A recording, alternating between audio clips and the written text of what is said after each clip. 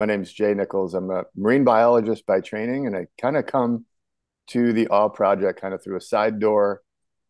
I've been thinking about um, the role of water in our cognitive, emotional, psychological, social, and spiritual well-being, um, sort of the neuropsychology of water, if you will. And uh, a big part of that turns out to be the experience of awe and um, and I, so I'll, I'll say a few words about that. But first, you know, Jeff, um, you brought up this um, the subjective aspect of of awe, and in, in, our work with water, which intersects so completely with this whole conversation and all the videos, um, and I'll get into that uh, in a second. But we always start with the question, "What's your water?"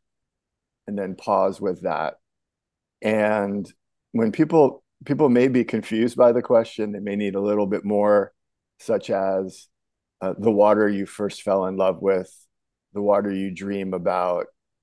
Let's talk about who took you there, who taught you about your water. Um, and it can be a, an incredibly positive memory, it can be a mixed emotional memory. But the point is, you start with that question because everybody's coming from a different place. And for someone, it might be the vast Pacific Ocean, and for someone it may be uh, a glass of water or a drop of water. Uh, it may be the water in their food, it may be the water in, in a creek.